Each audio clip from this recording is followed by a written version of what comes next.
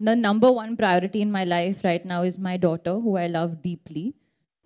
आलिया भट्ट ने मीडिया के साथ की अपनी दिल की बातें शेयर उन्होंने कहा कि उनकी फ़र्स्ट प्रायोरिटी है उनकी बेटी रहा मतलब कि वो अपने करियर से ज़्यादा राहा को टाइम देना चाहती हैं। इसी के चलते उन्होंने ये भी कहा कि मेरा फ़र्स्ट लव मेरा पैशन एक्टिंग है, मेरा करियर है, मगर अब मैं अपनी बेटी को ज़्यादा टाइम देना चाहती हूँ।